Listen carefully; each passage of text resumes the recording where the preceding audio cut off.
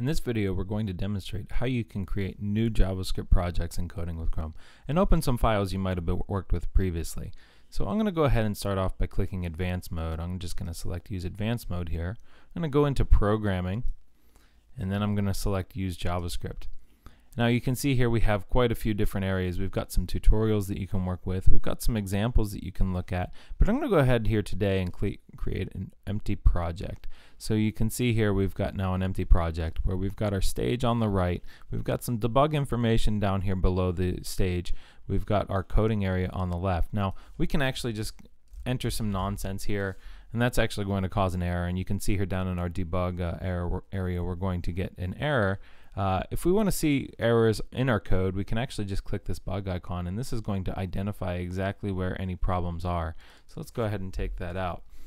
Now we also have some options on the right. You know this will this refresh button will automatically reload the uh, the stage so that every time we make a change we'll see changes. If we turn that off, we'll need to hit play or stop or refresh uh, manually every time we want to see our results in the stage.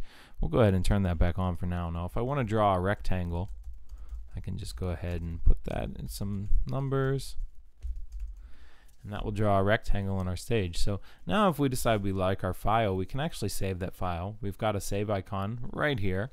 We can go ahead and click this icon to save. We'll call this rectangle example.cwc. We'll save that on our desktop. Now if we want to open a file we've worked with before, maybe it's something somebody has sent us, maybe it's some project we were working on yesterday, we go to our top left menu and we click Open File. Now Open File is going to open our Open uh, File dialog here. This might look different if you're on a Chromebook or on Windows, but for a Mac, this is what the uh, File Open dialog looks like. I'm going to go ahead and select Circles, which is a file I was working on earlier. You can see here, you know, we've got no errors, so this our bugs aren't going to showing anything. But we have our circles on the right side. And you can see here, you know, the code is running. It's drawing a couple of circles. We've got no errors, so we've got no debug information coming up on the bottom.